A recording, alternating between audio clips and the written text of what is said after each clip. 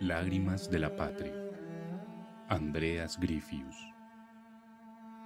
Estamos destrozados, perdidos, arrasados. Los pueblos insolentes, las tropas furiosas, la espada untada en sangre, el cañón retumbante devoran los sudores, cuidados y alimentos.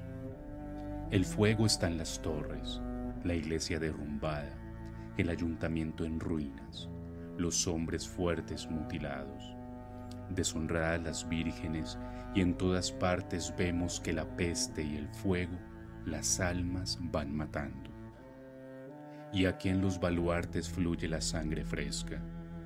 Por tres veces, seis años las aguas de los ríos obstruidos de cadáveres, despacio van fluyendo y palabra no digo de lo que es peor que la peste y la muerte, el hambre y el incendio, que a tantos han robado el tesoro del alma.